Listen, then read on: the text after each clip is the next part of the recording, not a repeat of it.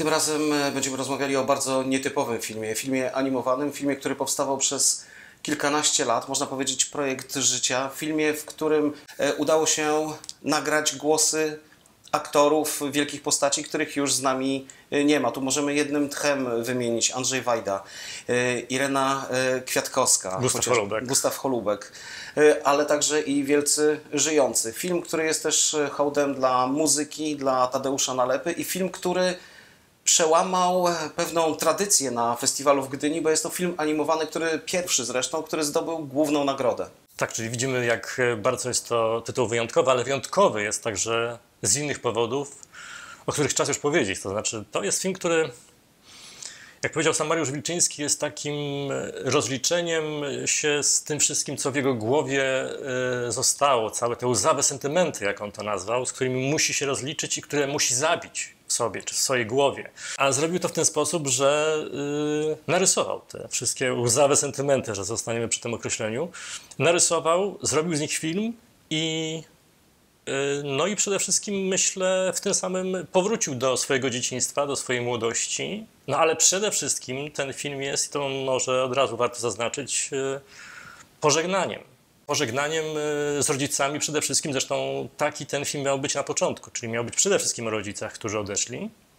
Miał trwać krócej, miał trwać mniej więcej 20 minut, no a teraz okazuje się, że zrobił film znacznie dłuższy, no ale jednak ten temat rodziców jest tutaj y, chyba jednak najważniejszy. No. Ta scena, która, o której chyba warto też powiedzieć już teraz, to jest ta scena, która robi kolosalne wrażenie, scena, której się nie zapomni, scena, która chyba mm, najmocniejsza w filmie i jednocześnie, y, jak sądzę, też najwięcej mówiąca o tym, o czym jest ta opowieść y, Wilczyńskiego. To znaczy scena w szpitalu, prawda, y, kiedy rozmawiał z umierającą matką i to jest taka rozmowa, która właściwie nie ma puenty, niedokończona. Taka rozmowa, która yy, no, odbywa się, ale widać, że no, nie ma wykończenia. I to jest yy, o tym też ten film, to znaczy o tym, że właściwie yy, o tym deficycie y, pewnych słów, gestów, y, uwagi, i myślę, że o tym e, opowiada w sposób bardzo przejmujący, e, bardzo intymnie, e, bardzo właśnie osobiście i kameralnie. No, tej sceny się nie zapomina, tak jak powiedziałem, to jest scena, której może powiem króciutko. Mm, no matka się pyta właśnie, czym się zajmuje, prawda, co robi. No i on opowiada właśnie o tym, że rysuje, rysuje film, ale nie potrafi nic więcej powiedzieć. Nie chce o tym jej też powiedzieć, tak jakby zabrakło mu może cierpliwości też, czy umiejętności opowiedzenia o tym. No i właśnie takich momentów, które on by pewnie inaczej chciał, prawda, powtórzyć, żeby te momenty inaczej zabrzmiały, żeby te momenty przerodziły się w coś bardziej ważnego, bliższego, prawda. I ta, ta rozmowa mogła być bliższa, gdyby on poszedł dalej, prawda, gdyby się e, bardziej w tej rozmowie zbliżył do tego, do tej opowieści choćby, prawda, o swoim filmie nowym, który, e, który robi. Ale mm, no, to jest też film właśnie szerzej o rodzicach, prawda, z, z którymi też się właśnie żegna, tak jak powiedziałem na samym początku właśnie. Mm, no bo przecież tymi prawie rodzicami, czy, czy mogą być rodzicami, czy wyobraża sobie, że są rodzicami, chociażby ta para staruszków e, w pociągu, w pociągu prawda, których tutaj no, słyszymy głosy też ważnych aktorów. Andrzeja Wajdy, Ireny Kwiatkowskiej. I tu widzimy właśnie te pożegnanie, które no nie udało mu się, można tak powiedzieć, właśnie w szpitalu i to pożegnanie, które sobie wyobraził, które właściwie jest no, bliższe ideałowi, prawda? Czyli właśnie to w pociągu taka pożegnalna rozmowa.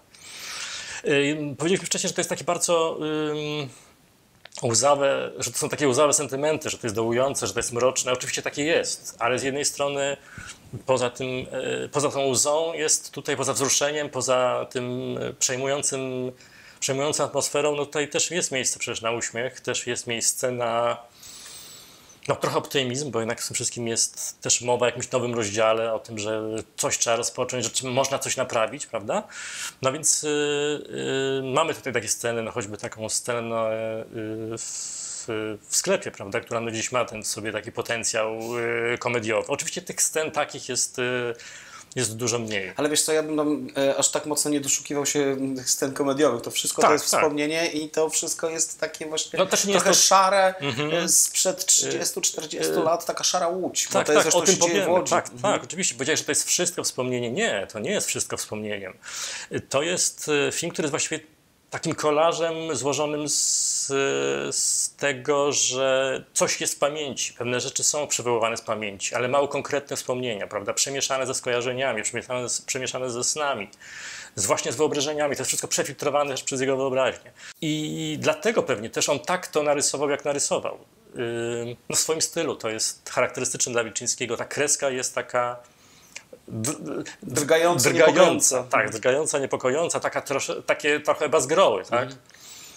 Czasami no, jakby to dziecko rysowało. Jakby to dziecko, tak. A poza tym, no pewnie dlatego, że, y, że te mm, wspomnienia są też takie niedookreślone. Choćby dlatego. No a poza tym właśnie to, co powiedziałeś, no, mm, no opowiada też o tym, takiej, o tym, co jest mroczne w tych y, opowieściach, też o tym, co jest takie siermiężne. No, tak jak te, takie słowo, które natychmiast przychodzi do głowy, kiedy się myśli o łodzi, prawda, perelowskiej.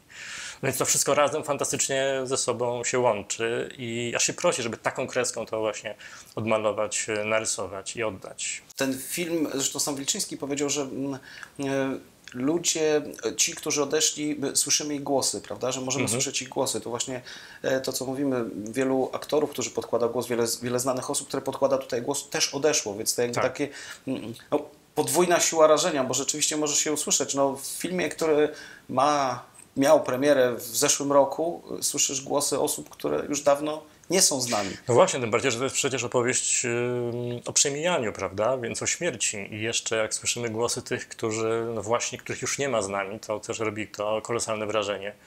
Mm, no ale y, ja myślę, że też trzeba powiedzieć, że to jest film, oczywiście to powiedzieliśmy wcześniej, że o rodzicach, prawda, o odchodzeniu, o pożegnaniu i próbie naprawienia tego nieudanego pożegnania, tak to może nazwijmy, z rodzicami, ale też jest y, no, animacją o tych wszystkich ludziach, y, którzy byli dla niego długo ważni, Y, no, ale też o ludziach, których znał, przyjaciołach, prawda, a jednocześnie też o ludziach kultury, którzy jakoś tam no, bardzo wywarli duży wpływ na niego. To można połączyć, tak jak w przypadku Tadeusza Nalepy, tego przyjaciel, jednocześnie jakiś guru, prawda, jednocześnie jeden z tych ważnych muzyków, których y, tutaj słyszymy, tak, to, to znaczy jego muzykę słyszymy tutaj.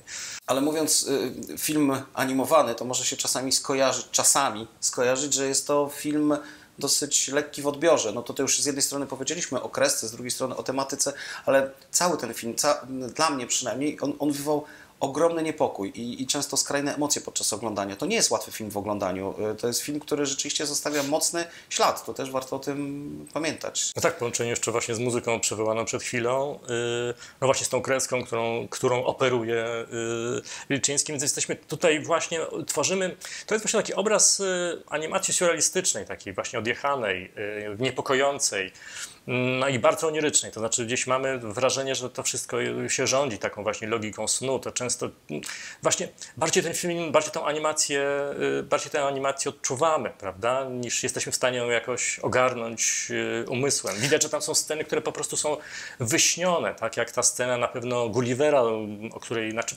kiedy no, właśnie Wilczyński jak Gulliver próbuje y, się uwolnić, prawda? Właśnie uwolnić się być może właśnie od tych wspomnień, które powodowały, że jest właśnie jakoś tam ograniczony, tak? Nimi.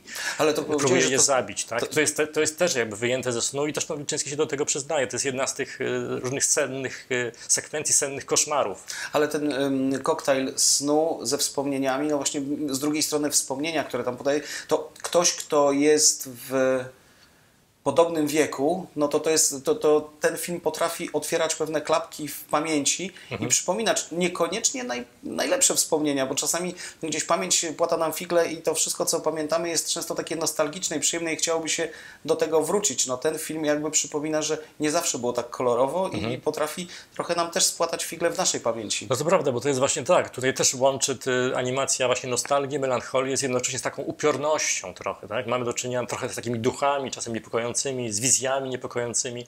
No tutaj naprawdę jest duża huśtawka taka y, emocjonalna y, podczas oglądania tej animacji. No myślę, jeden z takich filmów, który naprawdę y, rozwala, no właściwie nie ma jak to nawet to nazwać i myślę, że rzecz, którą no, pewnie należy obejrzeć w kinie no przynajmniej raz, a może nawet częściej, bo to jest, no, to jest film, który właśnie no tak wchodzi troszkę jak właśnie gdzieś poza głową, poza intelektem, bardziej właśnie dzięki emocjom.